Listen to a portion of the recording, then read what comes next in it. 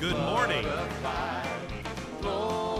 This was a nice change of pace. We're talking like while I was walking up instead of awkwardly waiting for me to, to make the ascension up here. So, good morning. It's great to see everyone this morning. Uh, if you are visiting with us for whatever reason, we would like to welcome you and we are glad that you are with us.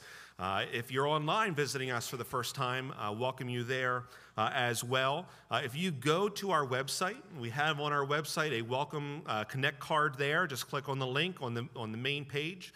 Uh, just let us know that you're here. I'd love to reach out to you and connect with you through email that way as well. A couple of announcements as we get started this morning. Wednesday, Lord willing, we will be having Bible study here. we will be in Romans 13, which is where Paul talks about the role of government. Uh, so if you wish to be uh, angry with me for the rest of my time here, come on out on Wednesday morning as I talk about the role of government. Uh, I'm sure everyone will leave happy. Uh, Thursday evening, uh, we, will, we will be having a nominating committee meeting uh, Thursday evening at 7 p.m. If you have any recommendations for the slate of officers for next year, uh, please let me know uh, at some point uh, this week, and I will make sure those recommendations are considered at the committee meeting on Thursday evening. Uh, we have five of the spots filled. I need to ask an alternate. So just think, you might be getting a phone call on Tuesday uh, asking to serve uh, on the nominating committee. Uh, so keep your Thursday night open. Uh, I want to thank everyone uh, who donated or volunteered at the blood drive. despite some challenges to the day that we are hoping to remedy for the next time we host, we were able to collect 17 units of blood and provide a supply for 51 people. Uh, so prior this time last week, uh, there were 51 less uh, lives that could be saved, but thanks to many of you, uh, we were able to add to the blood supply there. Uh, next quarter's Our Daily Bread are on the tables in the lobbies. Uh, so if you haven't grabbed one yet, please do so before they are all gone. but I'm looking forward to today. we have an update from Stephen Merritt uh, and Young Life Upper Blue Ridge, and uh, I'll introduce him more formally uh, to come. Uh, but in Psalm 99, we are reminded once again that our God reigns uh, and that he reigns in complete holiness. Uh, he is different than we are. Oftentimes, we want to make God in our own image. Uh, we expect him to think the way we want him to think, and we expect him to act the way uh, we would want to act, but he is different than us. Uh, and it is a reason that we should praise him because his ways are higher than ours. Uh, his plans for us are greater than anything we can imagine. Uh, so, as the ladies come up, uh, I invite you to stand with us, and you can turn to hymn number 375 if you'd like. Uh, hymn 375, and would you please stand as we sing All the Way My Savior Leads Me?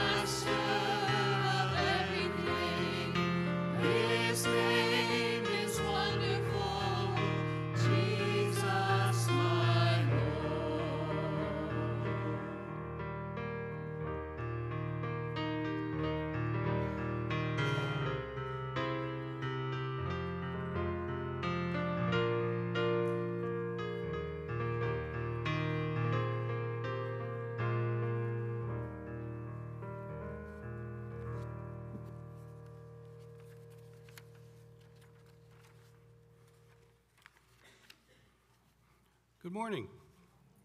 It's good to see everyone today. This morning I'll be reading uh, Psalm 99, verses 1 through 9. The Lord reigns, let the nations tremble. He sits enthroned between the cherubim. Let the earth shake. Great is the Lord in Zion. He is exalted over all the nations. Let them praise your great name and awesome name. He is holy. The king is mighty. He loves justice.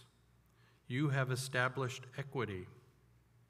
In Jacob, you have done what is right and just. Exalt the Lord our God and worship at his footstool. He is holy.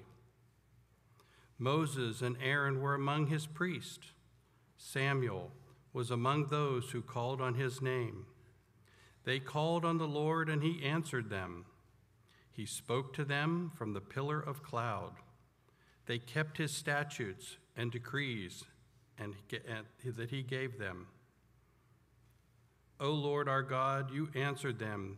You were to Israel a forgiving God, though you punished their misdeeds. Exalt the Lord our God and worship at his holy mountain, for the Lord our God is holy. Let us pray. Heavenly Father, Holy God, Lord of heaven and earth, you have spoken to your people in a pillar of cloud as they walked together in the wilderness. Speak to us through your word today that we may hear you and obey you. Almighty Father, many in our congregation, family members, and friends have burdens that are spoken and unspoken. You, Lord, are the great healer, and we ask that if it be your will, please provide your comforting touch to help alleviate these burdens.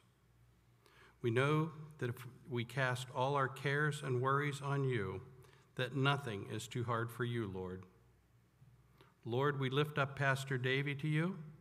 Uphold him, strengthen him, and encourage him as he faithfully delivers your word to us today. Father, our country and our world continues to be in turmoil over the pandemic the discord within our governing bodies, civil disorder, poor leadership, and decision making. Father, we ask that you give a special blessing to all the believers around the world, to our medical personnel, first responders, our military personnel, and our essential workers. These efforts, as always, have made our life safer and easier. Father, bless those in our nation in our national, state, and local leadership roles. Grant them the wisdom to make decisions that are pleasing to you and that they follow your plans and not their own desires. We pray that those in leadership that are non believers or profess to be but not demonstrating Christian values, that we ask that you soften their hearts so that they can see you and turn to you. Lord, it is a comfort knowing that you, you are the one who is in ultimate control of everything and all parts of your plan and that you have for us, Lord. Lord, we say thank you for loving us just as we are.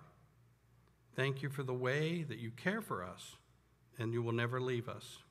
But most of all, thank you for your Son, Jesus, and the gift of salvation and eternal life for all those who believe he shed his blood and died for our sins. We pray this in his holy name. Amen.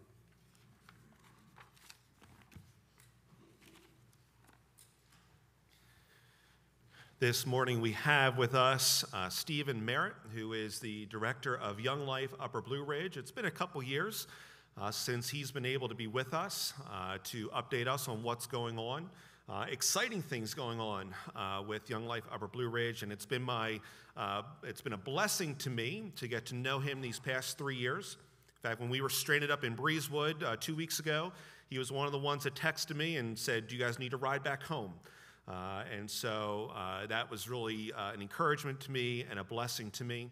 Uh, and so uh, they have a video uh, that he wants us to uh, watch. And then after the video, he's going to come up, uh, share a few other announcements, and introduce uh, his co laborers that are joining their team here in the area. so if you would turn your attention to the screen, and we will watch this video.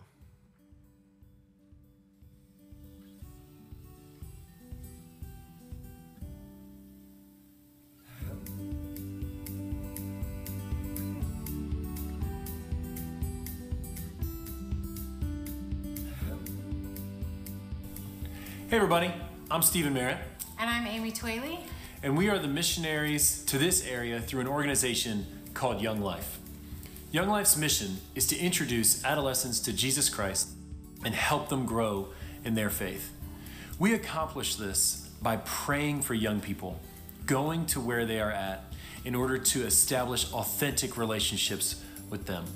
Through these relationships, we earn the right to share the gospel and invite them to a personal relationship with Jesus Christ. We walk alongside kids through the ups and downs of life, and we enjoy introducing them to amazing, adventurous, skill building experiences that we believe prepares kids for a lifelong relationship with Jesus Christ, a love for His Word, His mission, and His church.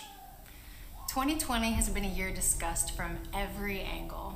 How this has affected politics, how it's affected business, how it's affected travel, etc. We're interested in how this has affected our area's students. Teenagers are coping with increased social media and increased video games. This intake level is excessive and dangerous. The cure is hurting them, not helping. Adolescence has always been a risky time. Throw a pandemic into the throes of adolescence, and you have a recipe for anxiety, stress, and possible suicide risk. A survey released by Parents Together found that the majority of kids surveyed, 70%, reported feeling sad, overwhelmed, and worried. Nearly half the parents, 44%, are saying that their kids are struggling with mental wellness since the pandemic started. The rise in suicide cases, though, was most pronounced among the nation's youths. The latest CDC survey shows teen suicide rates, suicide attempts, and suicidal ideation are on the rise. According to CDC data, suicide is the second leading cause of death among young people aged 10 to 24. The effects of isolation are heightening this trend. The closure of schools and other social meeting spots youth normally frequent has forced students to stay confined to their homes, increasing the rates of anxiety, depression, and suicidal thoughts for people of this age group. The damage is massive and obvious. Students have been grounded for an entire year and they are incredibly lonely and isolated. Understanding this, Young Life has not retreated, but we have advanced during this time.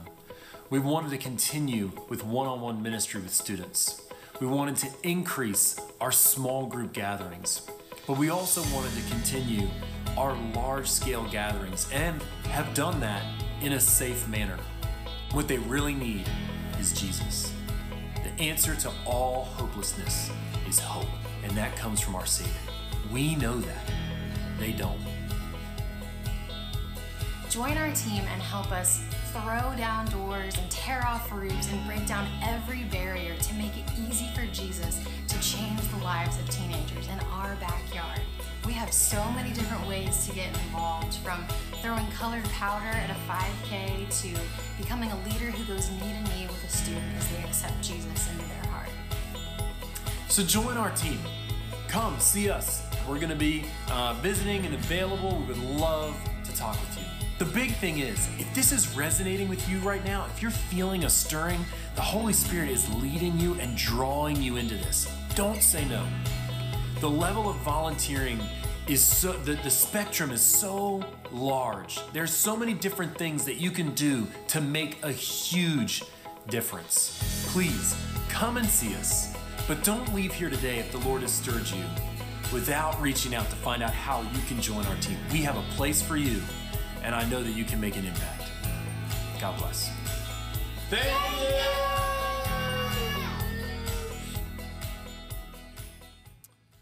Awesome. Thank you guys so much for watching that. Um, I am using some high tech tech right now, and I lost the screen. I'm so sorry. But in the meantime, I will say, hey, it is so exciting to be back here again. Um, Davey and I started this friendship three years ago, and I came, and then, uh, yes, there it is. So you guys might not know this, but there's like a slide thing that you can just control your slides while up here. It's pretty cool. Um, but anyway, um, my name is Stephen Merritt. This is my family my son Landon, uh, my daughter Madeline, and my wife Lacey. Uh, we've been doing this for uh, right around a decade. It's been, it's been a lot of fun for us. Um, we started on the team in Handley in Winchester and um, have moved down to the south, developed ministry at Warren County and, and Skyline High Schools, and, uh, and are in Millbrook now and, um, and are looking to expand out to some new things, which um, is really, really exciting. Um, my teammate that you saw in the video is Amy Twaley. She's been a missionary with us for a while. She started uh, ministry at Lord Fairfax Community College. That's her husband, Brandon, and their daughter, Kenley Rose, and their son, Holden Lewis. Um, and they are just awesome and wonderful people. Um, and uh, as we've been doing ministry and as we've been doing these things, as you've seen, we kind of came up against a brick wall and, uh, and landed in this zone where we didn't know where we were going to go and how we were going to continue to minister um, to students. And the cool thing is, is that I was able to go. Um, we started to fall in on some some difficult financial times. I was able to go and, and talk with David and say, "Hey, how's how's the church going? All this other stuff." And he said, Our people have remained faithful. Um, they have continued to give. Things, things are good. We are, we are expanding ministry as well. I said, That's amazing. And he said, Okay, I think we can help. And they gave a special offering. And it's just so amazing because I'm here with some amazing news, and everything uh, is pointing upward in, in 2021 for us to be launching back into schools. I was talking with someone a little bit earlier who's concerned about their grandchildren and the desire for Young Life to reach out to students that aren't currently going to church, um, that might be being invited. Um, grandparents might be preaching at them to go, is what he said, but they're just not being reached out to. And so they, he says, hey, get into Aylor, get up to Sherando. And I'm really excited about that because they are on our horizon, but because of the faithfulness of people like you, everybody came together and said, hey, we need to save our small businesses. And they you know, went out to Lido and all this other stuff. But other people said, hey, we need to save the work of the Lord and reached out and continued to give and continued to pray and, and led to a position where we were able to hire a new, uh, a new staff person. So myself, I'm a full-time uh, staff missionary, and we've added Sam Noble. Sam, come on up here. This is Sam Noble. Give him a hand. Give him a hand. There you go. Moved up here from, uh, from North Carolina. Is moving in off right off Route 7. Going to be uh, just bringing boots to the ground of Winchester and, and adding to the team. Um, with that, his wife Sydney, and they have a dog named Hank, who I'm sure you guys will get to meet and everything like that because they love their dog very much. Um, uh, but very, very exciting for us to be able to add staff to the area, increasing the amount of people that are that are receiving delegation to go out and to reach lost students. We have 20,000 students in our area when you count both colleges, also. We've got a lot of work to do. Um, a lot of them are disinterested in Jesus, and it takes partnerships with people like you to make this possible. And so we are so, so grateful. But like I said in the video, and I'm saying now, if anything resonated with you, we do have a place for you. Um, we do have multiple options to join our team. The first one's ministry support. We do a lot of fun things like that the video at the end with me falling over. That's Donut Olympics. You know, we need we need people to just bring in twine and donuts on those days, you know, and stuff like that. That's ministry support. People who just hear about our cool ideas and want to help do stuff like that. Um, then we also have leader. That's that's anyone in here who wants to go through life with students and get to go knee to knee with them and, and invite them to enter into a relationship with Jesus Christ. We have committee. Those are our people that really make this ministry possible and help with our fundraising events and those different things like that. And then we have parent support. So if you're a parent or a grandparent, you can help get the word out in your school and say, hey, you know who I think you should meet? I think you should meet um, Miss Sally over here. You know, she's a science teacher, but I know she loves the Lord. Those parents really help us grow in the schools by knowing other people. And then the last one is a donor. Um, if you want to come on personally to support the ministry, this church has, has been blessing us and has taken us on and, and gives us support, uh, support consistently. But if you want to give above that and beyond that, we would love to have that relationship as well. I'm just really grateful. I'm here because you guys have continued to pray and continue support. I am so grateful for that. This, this update is your success. And so thank you guys so much. Uh, it's a blessing to be here with you today. And one of the ways I view Young Life uh, is as the Lord has not yet uh, given us the blessing of a youth ministry, uh, I see Young Life very much as an extension of our ministry to that age group. Uh, and the numbers of students they are able to impact uh, far uh, exceeds what we're able to do here right now. and so I want to thank Stephen and take some time after the service, say hi to them. Uh, talk with them, ask them questions, just let them know that you are praying for them, uh, and I'm sure he will appreciate it. Uh, we are going to, Daniel, I'm going to switch control back over to you. Uh, so it's all you now again, bud. Uh, and I invite you to take your hymnals and turn to hymn number 41. Hymn 41 before we uh, look to the Word of God. And stand as we sing, Holy, Holy, Holy.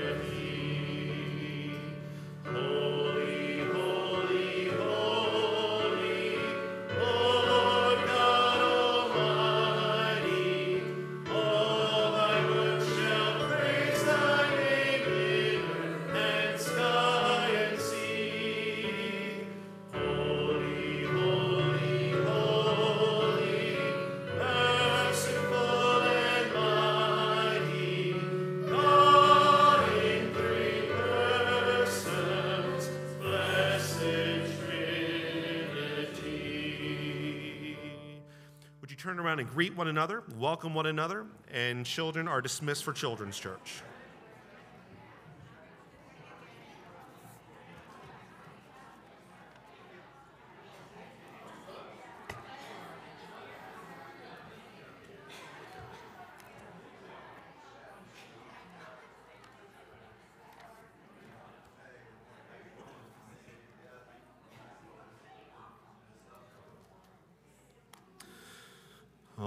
Right. Uh, many visitors today, and so if you haven't had a chance yet to greet them, uh, please do so after the service. Uh, but it is good to see everyone uh, this morning. Uh, and this morning, so far, we've sang lyrics such as His name is wonderful, Jesus my Lord. He is the mighty King, master of everything. His name is wonderful, Jesus my Lord. We've sung, Our God reigns. We've sung, Holy, holy, holy, merciful and mighty, God in three persons, blessed Trinity. And depending on the text we're in, I do strive to align uh, what we sing with what we see in the Word of God on a week to week basis. And we'll end our time together this morning with another great hymn of the faith, Crown Him with Many Crowns, following that same theme. And as believers, we serve a mighty God who rules and reigns over the entirety of his creation. We continue to be in the midst of a time in world history uh, that is reminiscent of Psalm 46, uh, verse 6, where the psalmist writes, The nations raged, the kingdoms were moved. Eight days ago, a 7.2 earthquake struck Haiti. And the death toll so far is over 2,000 and continues to climb. Uh, but even that's been pushed aside because, depending on what news sources you listen to, at some point in the last week, 20 years of military engagement and finances went down the drain in Afghanistan as we armed the terrorist Taliban government, beginning a whole host of humanitarian problems, including the persecution and execution of our brothers and sisters in Christ. And that's just this past week. The nations rage, the kingdoms are moved, and it'd be easy for us to join the unbelieving world in losing heart and to become discouraged and fearful about the world that we live in and that which we will leave behind for our children and our grandchildren. Yet the point of Psalm 46 is not that the world is in turmoil. It's what we find in verse 10 of, of Psalm 46, which I quote from the Holman Christian Standard Bible Stop your fighting and know that I am God, exalted among the nations, exalted on the earth. And Psalm 46 reminds us that as believers in Jesus, our eyes should remain fixed and steadfast on the Lord, the one who sits on his throne above it all, nothing escaping his knowledge nor overtaking his power. We have no need to fear or doubt the future. He is the one that's going to be exalted. He's the one who will be lifted up when all is said and done, as he is the Holy One. He is the sovereign one, ruling as the king over all the earth. I invite you to turn back with me to Psalm 99, and we thank our brother Rick for reading it for us earlier. And as we turn back to Psalm 99, we see a repeated command to exalt or lift high the Lord. And the specific reason the psalmist keeps returning to is that the Lord our God is holy. In the middle of all the upheaval, in the midst of all the enemies that seek to take down the Most High God and destroy his people, the psalmist calls on the entire world to recognize God for who he is and to worship him in light of it. This morning in Psalm 99, we will see that because the Lord our God is holy, we are to exalt him.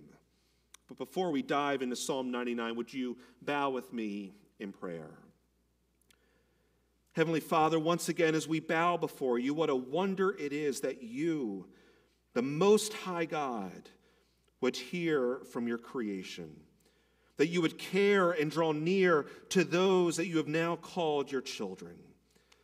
As we come to your word, we ask that your Spirit would illumine its truths to our hearts and minds, that we would not only come to know you more, but that we would live and think in light of our understanding that you are the Most High God, the sovereign ruler over everything and everyone, seen and unseen.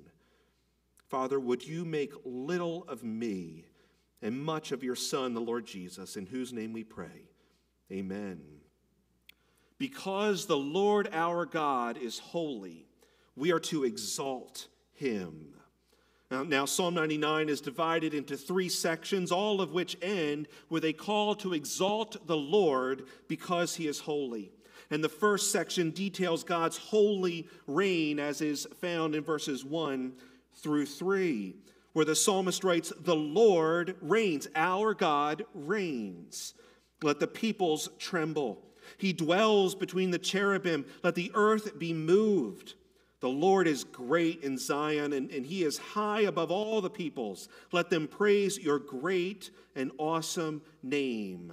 He is holy. We begin with the psalmist's statement at the top of this psalm the Lord reigns. This isn't met with, or uh, yeah, this isn't met with an ounce of uncertainty or a question as to whether or not his reign is limited in the affairs of this world. We've read several times in the past two months of, of Psalms that declare God's absolute and sovereign reign over his creation. Our God reigns.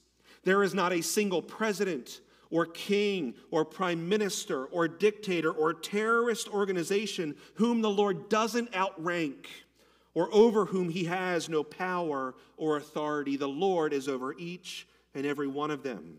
There isn't a drop of rain that falls or a breeze that blows that God doesn't control. No one personally in, in our lives, no demons of the spiritual realm, no circumstances come our way over which God isn't supreme. He, Yahweh, reigns, period. What would that look like in our lives if we believed that to be true? What would happen to our, the fear in our lives, the doubt, the anxiety, if we believe that God reigns? It would instill in us a sense of hope and peace that transcends this present world.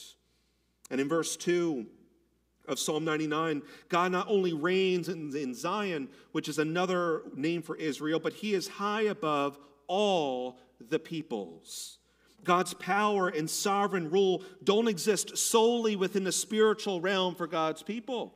God's not confined to these four walls, that as long as we're in these four walls, that we are safe and secure, and God has, God has jurisdiction here. God exists and has authority outside of these walls as well.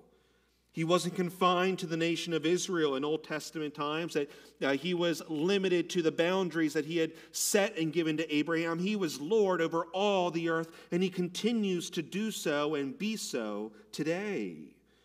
In every area of our lives, when things don't go the way we planned and, or the way that we hoped, when the unbelieving world has no peace over world events, we must take heart and know that God's known about these circumstances from eternity past.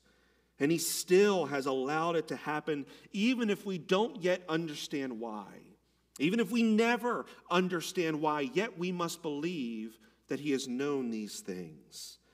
And because of God's holy reign, the psalmist presents two conclusions. In verse 1, he writes that the people should tremble. They should, in, in one sense of the word, come out quaking with fear. And for us who know Jesus and who dwell on the rich hope that we have in his blood for the forgiveness of our sins, we should have peace and joy and we should worship him accordingly. But for those who fail to recognize and submit to the rule of the Most High God, they should tremble in fear.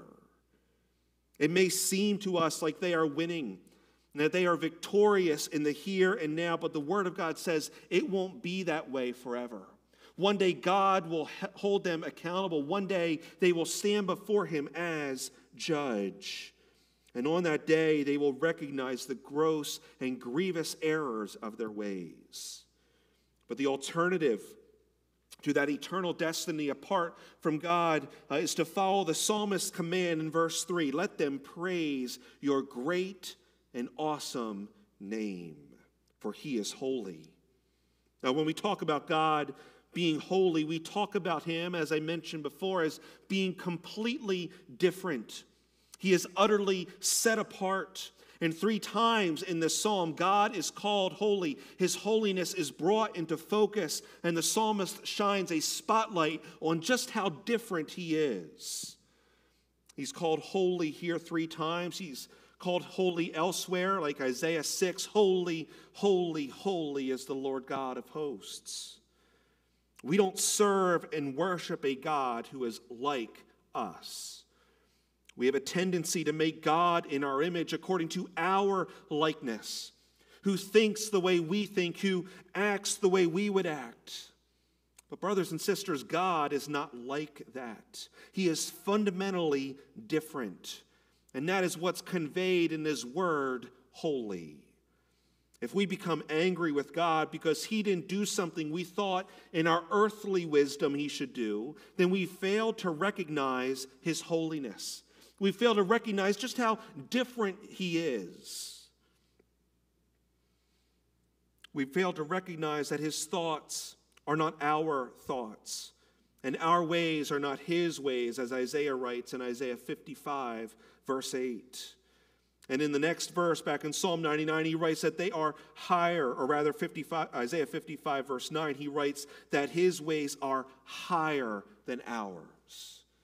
And so take heart when we don't know the why.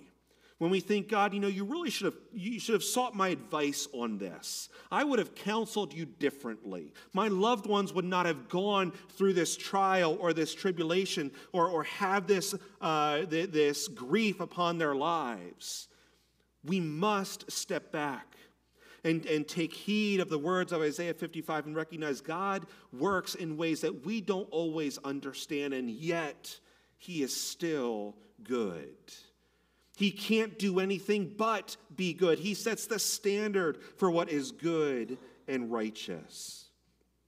And because his ways are higher, because he is higher, because he is holy and his reign is holy, we and the world ought to praise his great and awesome name.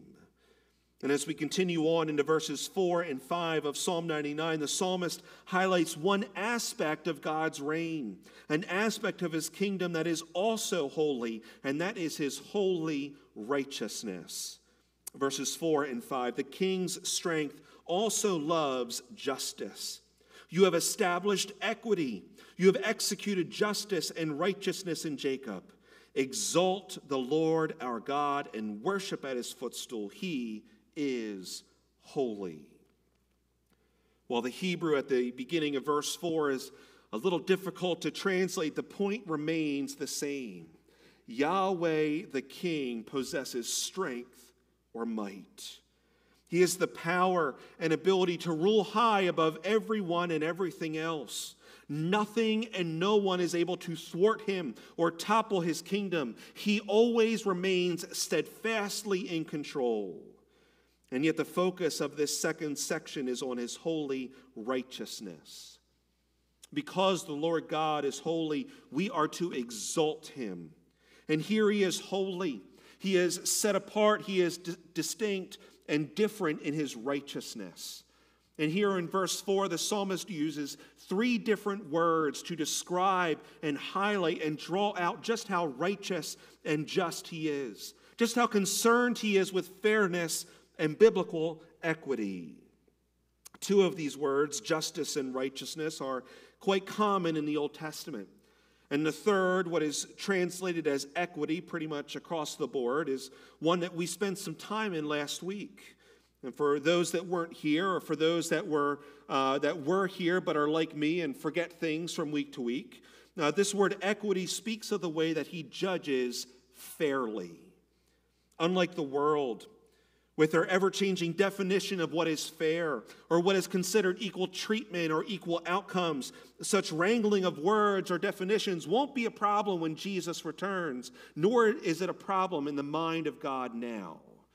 There will be no cause for concern if people will get what they justly deserve in the sight of God, which should be a thing of terror for unbelievers and, as we'll see in the next section, something that uh, should be in the back of our minds as well.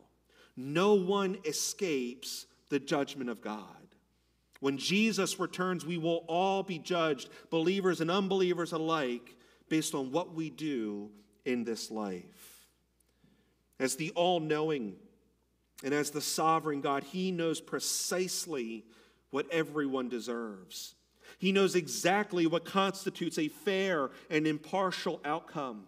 And for those who know him and have confessed their dependence upon him to fix their sin problem through the person and work of Jesus, that should comfort us immensely.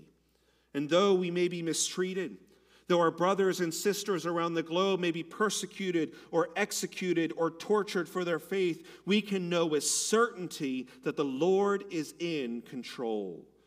And he will make everything right in the end, even if it doesn't end well for us here on earth. And this past week, I've thought, what if it were me in Afghanistan? What if it was me in North Korea or these other countries where Christians are, are persecuted and tortured and killed? Where some in Afghanistan aren't even given the ability to, to renounce Christ. I forget who was telling me, but uh, uh, how uh, uh there are these registration cards in Afghanistan and, and they are registered as Muslim. Uh, it might have been Wednesday at Bible study, and so I apologize. See, I can't even remember who tells me what in the past week. Uh, but they said that all these younger Christians were changing their, their governmental registration from Muslim to Christian. Do you think the Taliban is going to give them a chance to change that card back? Or are they just going to look in the database that we just left there for them and say, you know what, they identify as a Christian, they're, they're going to die? I think, what if that was me? What would my response be? Would I be pleading for my life or would I stand there steadfast and say, Yes, that registration is correct. You can go ahead and behead me now?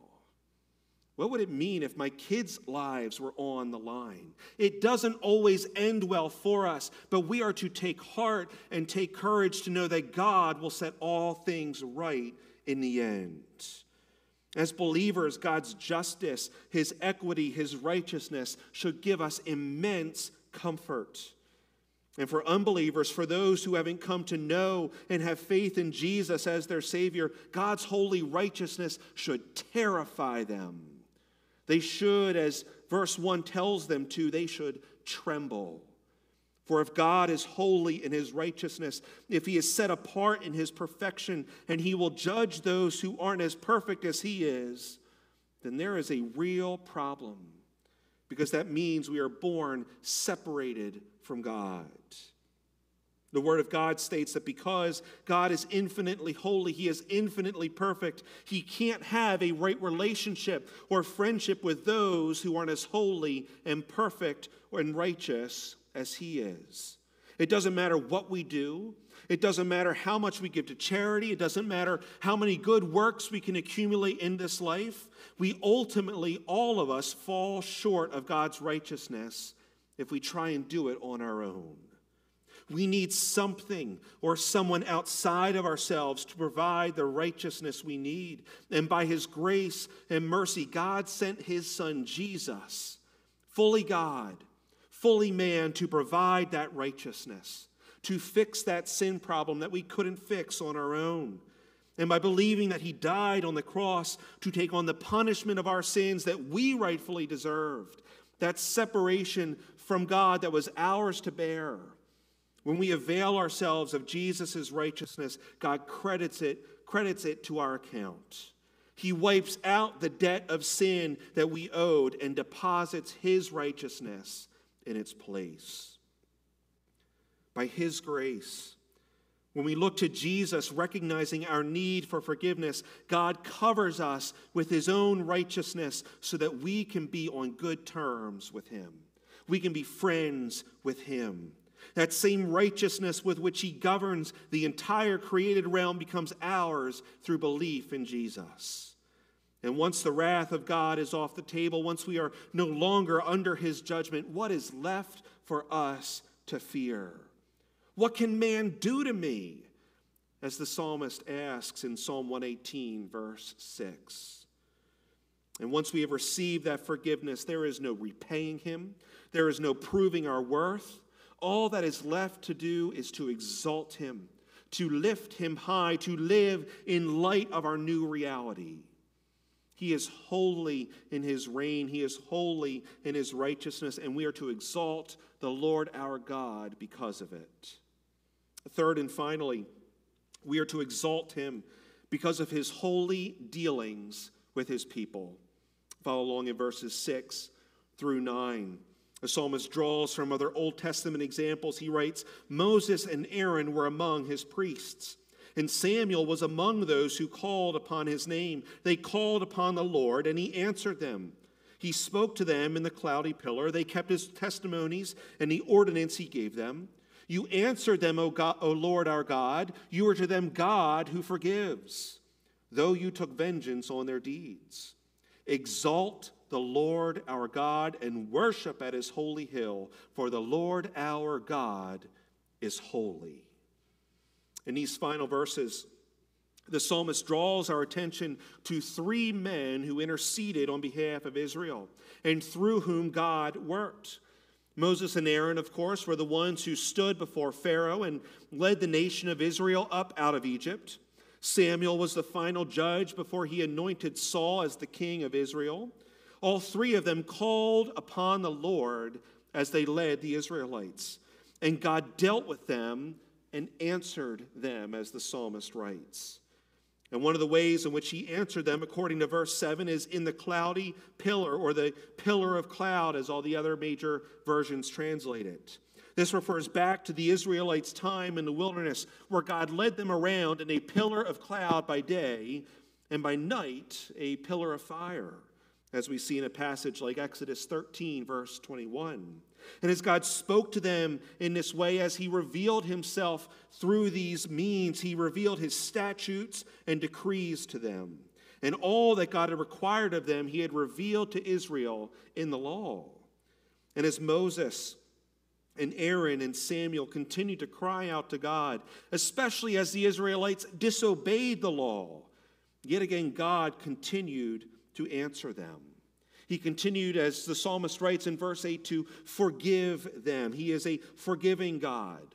And the New King James actually translates this as a name of God. It hyphenates it, the God who forgives. Even though God is holy in his righteousness, even though he is perfect in all of his ways, yet he graciously forgives those who call upon him and those today who believe in Jesus for the forgiveness of their sins. Verse 8 ends with an interesting twist, though, and it's something that we ought to take, uh, uh, take note of as believers. For the Israelite, even though their sins were forgiven when they called upon the name of the Lord, yet their ongoing sins still had consequences. Verse 8 You were to them God who forgives, though you took vengeance on their deeds. Those whom God forgave Yet their disobedience still had consequences, still, in a sense, deserved God's vengeance. Just because God had a right relationship with them didn't mean they could continue to sin without consequence. Just like we as believers cannot continue to sin without consequence in our lives. The psalmist says that he was a forgiving God, though he took vengeance on their deeds or as the NIV translates it, though he punished their misdeeds. This is something we will get into at length when we arrive at the book of Hebrews in the coming months. But there is a warning for us here as believers as well. When we look to Jesus for the forgiveness of our sins, we are indeed forgiven. We are given eternal life. The Holy Spirit seals us until the day of redemption. And God doesn't go back on his promise once the Spirit brings us to life. We don't stand before him at the judgment seat of Christ and he says, You know what? I, I know I gave you the Holy Spirit as a deposit. Uh, I know you're baptized in the body of my son, but man, you really made some poor decisions. So uh, I'm actually going to see you again at the great white throne judgment before I cast you into the lake of fire. That is not the future for believers. Yet the Word of God speaks volumes that as believers, what we do matters that the Lord is still concerned with holiness and righteousness in our lives. Eternal life isn't a license to sinful living. There are consequences, and sometimes grave consequences, for disobeying God. And we see an example of this in Moses and Aaron's lifetime, and ultimately how their lives ended. God had brought the nation of Israel up out of the land of Egypt. The Word of God actually uh, says that they were redeemed out of the land of Egypt. And yet, what happened when they disobeyed God's command at Kadesh Barnea to enter into the promised land? and to conquer it? They said, No. Are you crazy? There are giants up there. We'll be crushed. We'd rather stay here in the wilderness or maybe even go back to Egypt. Their disobedience came at a great cost. God didn't overlook Israel's refusal to obey simply because he just spared them from Egypt. In fact, he sentenced every Israelite, 20 years of age and older, to death in the wilderness. The nation would wander around the wilderness for 40 years as God waited for the Israelites to die off so that he could start with the next generation. Even Moses wasn't immune from that punishment. Moses, who, who himself was chosen by God to lead Israel, died in the wilderness because of his disobedience. In Samuel's day, the Israelites demanded a king. They wanted to be like every other nation on the earth, even though God had told them specifically that He was their king. And they didn't need a king like everyone else. Yet, nearly four centuries after Moses and Aaron, once again the nation insisted on going against God. And they ended up with Saul. We'll talk more about Saul on Wednesday when we talk about the role of government. Uh, but it's not like David's line, and David was the second king. It's not like David's line fared any better because it was under the Davidic kings that, that Israel went into exile within another four centuries. God's dealing with his people is still holy. He still can't look past the ongoing and unrepentant sin in our lives simply because we now have a right relationship with him through the blood of Jesus. God may have forgiven us the penalty of our sins, and He has enabled us to have a friendship with Him, but it's not a license to sin without consequences. He will still deal with us in a holy and righteous manner. And the New Testament even leaves a premature death on the table if we persist in sin. As the holy and sovereign Lord and King, it's well within his rights to deal with us as he sees fit. This section and the psalm ends in verse 9 with a final call to exalt the Lord, to lift him high, to put him in his rightful place as the sovereign over all creation. We are to worship him. And now, at the time the psalm was written, that worship was to be done in Jerusalem.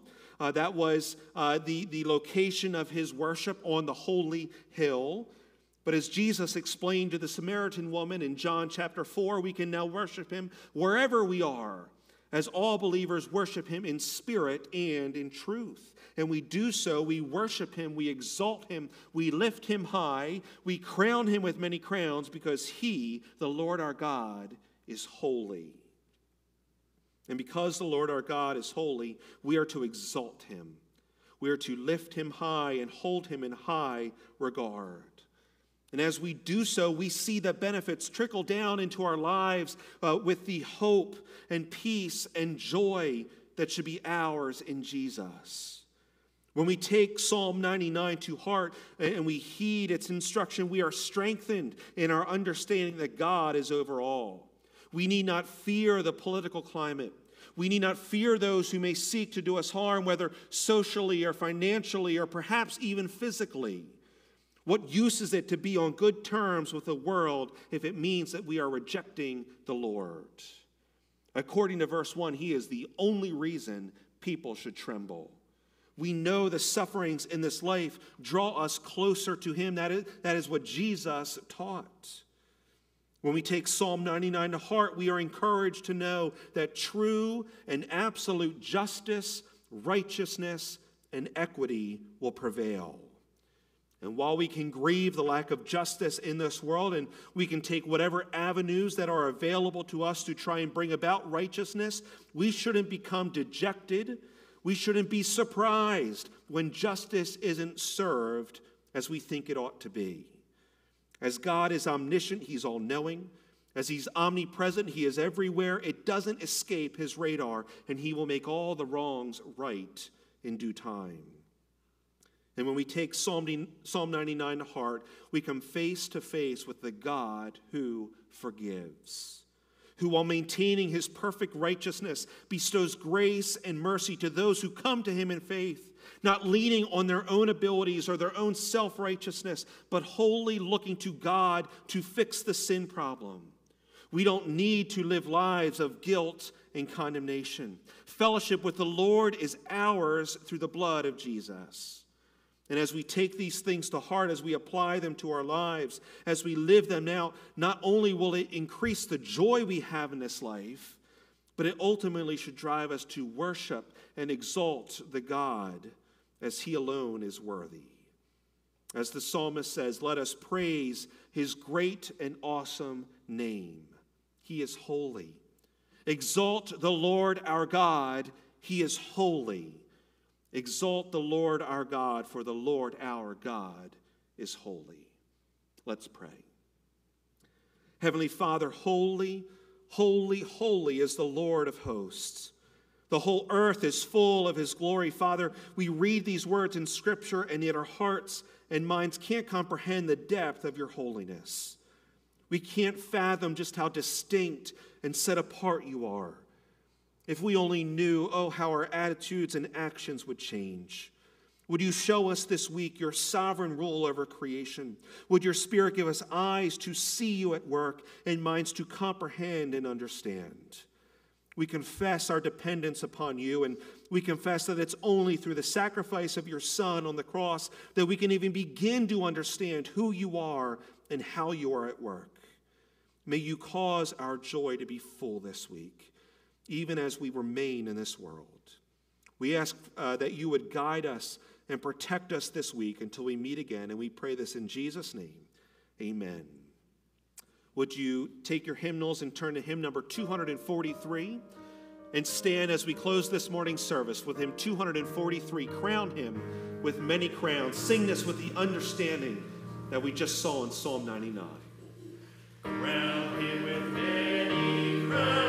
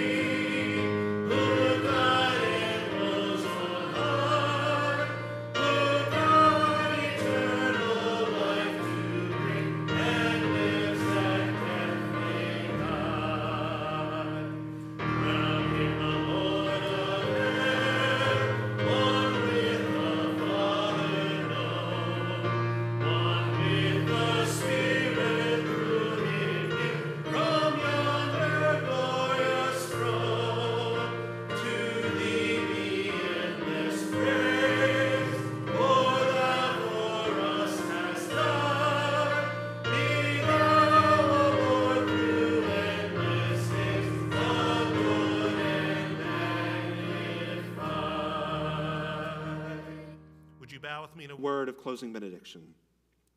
And now to him who loves justice, establishes equity, and executes righteousness, our holy and exalted Lord, to him be all glory and praise and honor forever and ever.